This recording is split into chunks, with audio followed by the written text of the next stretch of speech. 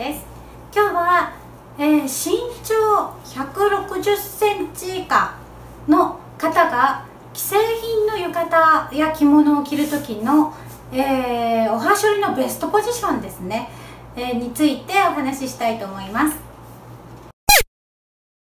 はい。えー、っと着物や浴衣今ね浴衣の、え季節ですけれども、え着物や浴衣を着る時に着付け動画が、えっと、たくさん出回っています、えー、どの着付け動画もほとんどあのもちろん着方は一緒なので、えー、まず羽織襟を抜き、えー、丈の長さを決めてから腰紐をかけます。胸合わせや、え背中のねエモを抜いて胸紐をかけます。そしておはしょりを処理するんですけれどもそのおはしょりですがえっ、と自分のサイズジャストサイズっていうのは自分の大体身長ぐらいの身丈だとまあ普通にそのままおはしょりをきっちり、えー、シワを取って、えー、脇のね処理だけすればそのままで大丈夫です。ただあつらえたり、えー、自分にぴったりサイズじゃない場合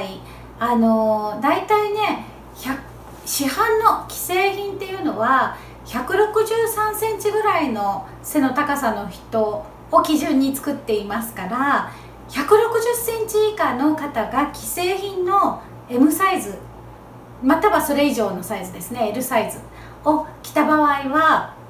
あのおはしょりがどうしても長くなってしまうんですね。であの着物の着付けですとか浴衣の着付けの動画を見てえー、着付けたんだけれどもどうも着姿がやぼったいですとか足が短く見えてしまうですとか背が低く見えてしまうという方は、えー、こちらのねやり方を試してみてください。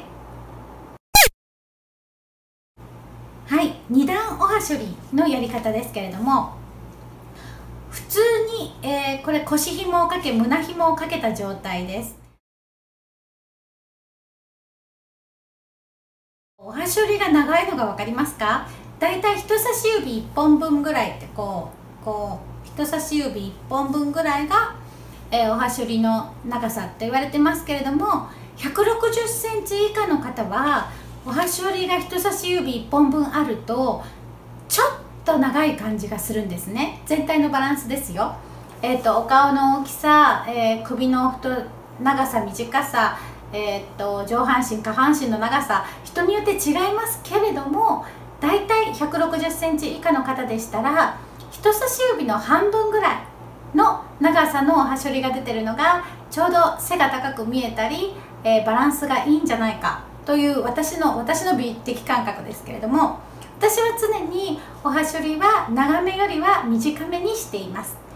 これついたけで着る方もいらっしゃるんですけれどもついたけで着ると着崩れがしやすかったりあとはまあ自分サイズじゃないんですねっていうのが本当にもろバレなのでね大人の方でしたら、えー、ぜひえー、っとあつらえたかのような 既製品の着こなしがねできたら素敵なんじゃないかななんて思っています。なのでおはしょりの長さは人差し指1本以下ですね。ではやり方です。これでは長すぎるおはしょりが長いなってちょっと感じるんですね、えー、帯をいくら下の方に巻いても指1本以上長い場合はちょっと,、えーと、下半身が長く見えてしまうんですね。足が短く見えるというか。なのでここで手でアイロンかけて伸ばした時の状態で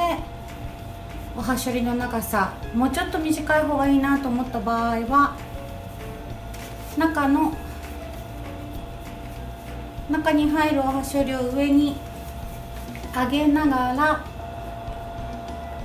左端ですね。左端を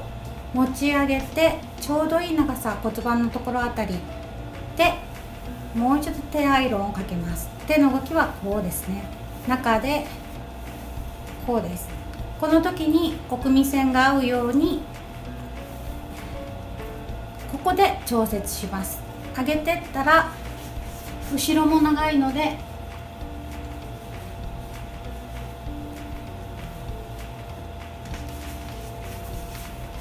横の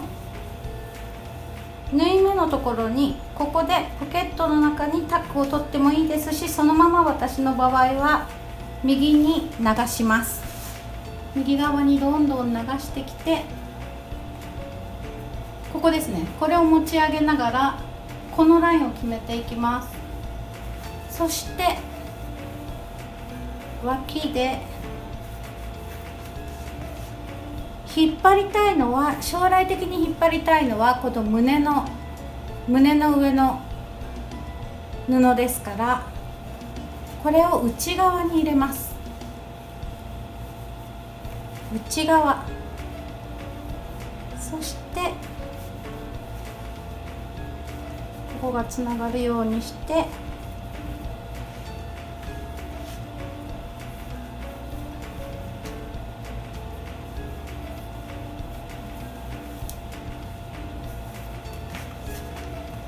ここに腰紐をかけます。紐の真ん中を持って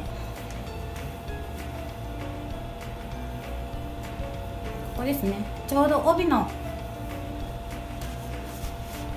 真ん中あたりですかね。横で引きます。そしてここですね。引っ張れるように紐をかけるのはこの上です。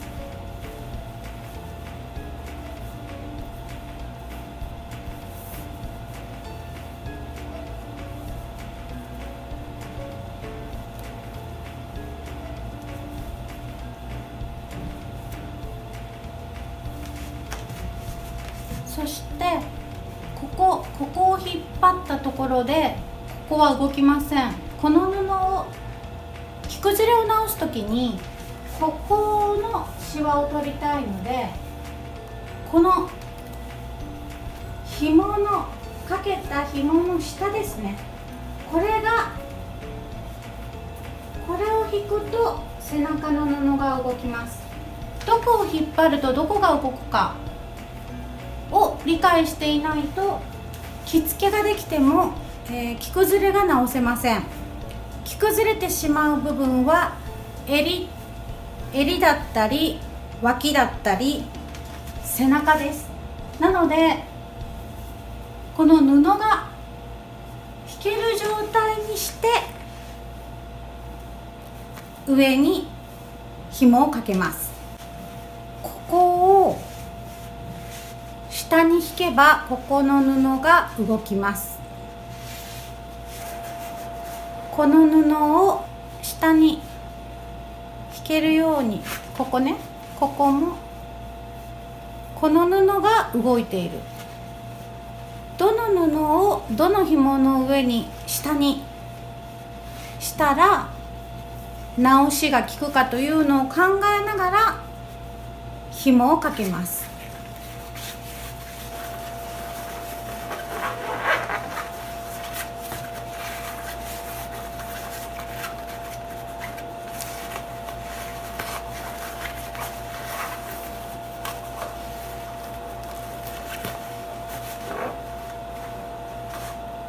上からでも下からでもいいですがこうまっすぐにしたいので折り返します。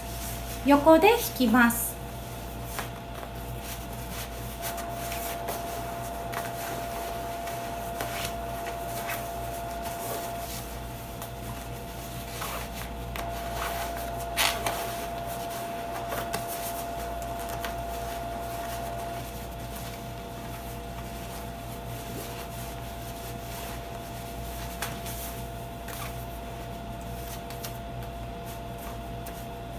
ここを引っ張ることで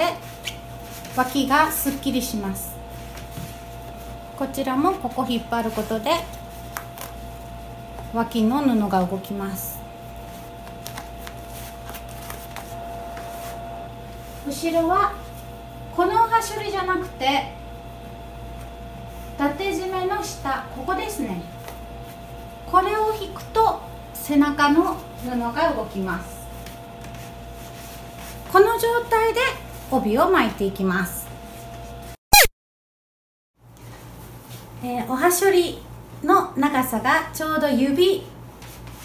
指1本よりも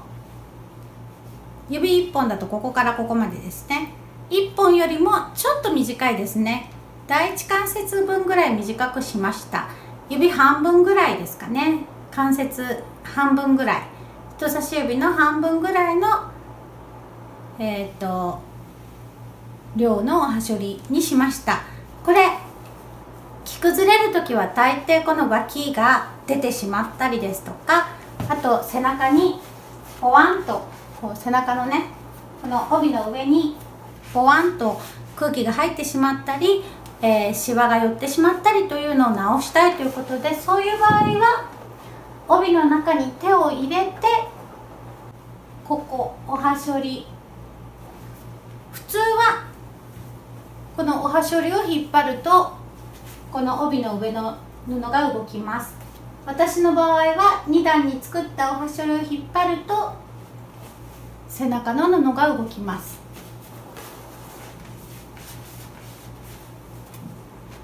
そうですね。はいいかがだったでしょうか？おはしょりの長さが変わっただけでだいぶやぼったさが取れるというかスタイルアップすることに気づいていただけたでしょうか？えー、っとおはしょりを2段にする。ただ2段にすればいいということじゃなくて、えー、っと着付けができるっていうことは、えー、っと着崩れが直せるっていうことだと思うんですね。布は全部つながっていますから、えっと、どこの布を引っ張るとどこの布が動くのかということを考えながら紐をかけていく。この紐はなぜかけるのか。なぜこの紐はここの位置なのか。ということを考えて着付けをしていかれると、えー、着崩れた時にここをここに手を入れてここを引っ張ると直せるんだな。ということが分かってよりね美しいキス姿が一日中ね保てると思いますのでそちら試してみてください。